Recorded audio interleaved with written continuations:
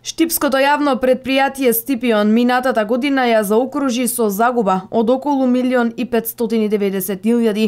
Причина за ова се проектите на кои работеле, а не ги реализирале. Меѓутоа, ова загуба ќе беше уште помала, бидејќи ценовникот кој што а, ни е потребен за проектирањето, односно за проектите кои што ги изготвуваме во, во нашето предпријатие, дојде некаде доста касно, некаде при крајот на декември, со последната седница на Советот на Обштината, и ова а, загуба, така да речем, ќе беше уште помал, помала, бидејќи имавме проекти кои што ги завршивме во минатата година, а не ги реализиравме. Од оваа година јавното предпријатие Стипион во свој раце ќе го презема и уличното осветлување во Штип и при градските населби.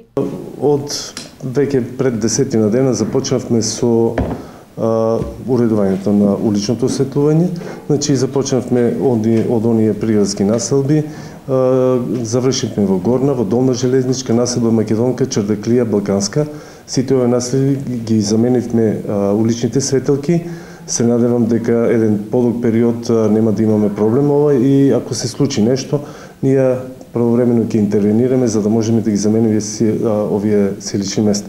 Инаку интензивно се работи, продолжуваме еви во овој односно и денешниот ден веќе работат на улица Каваклија каде што подолго време беше во прекин на уличното осветлување, тука имавме технички проблем, не беше околу промена на а, самите селици, туку имаше прекин на кабел.